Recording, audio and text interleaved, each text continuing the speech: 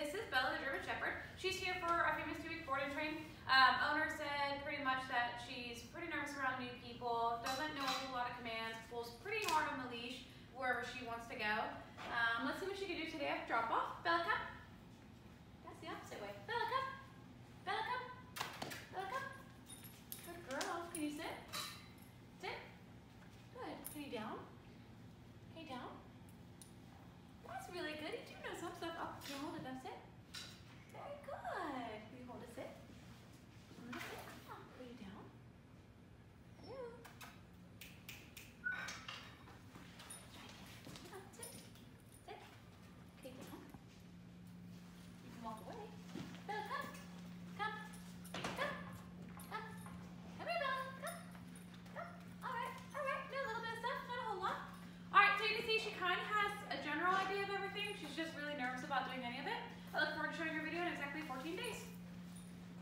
Shut up and sit down.